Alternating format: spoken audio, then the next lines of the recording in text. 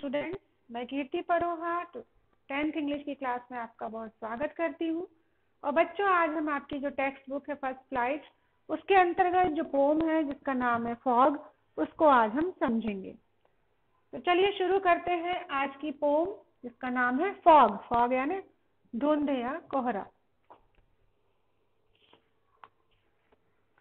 Fog the fog comes on little cat feet It sits looking over harbor and city on silent hunches, and then moves on.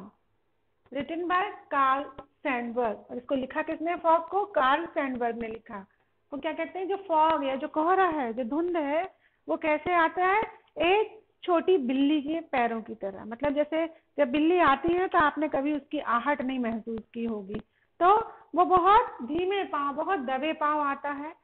और बैठ जाती है बंदरगाह और शहर के आसपास, और वहाँ से वो हॉन्चेस मतलब कंधे ऐसे उचका करके देखती है, और उसके बाद घुटनों के बल वापस चली जाती है।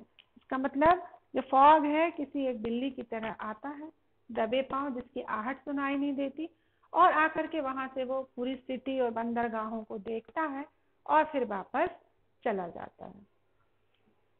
तो बच्चों, ये थी आपकी पोम फॉग।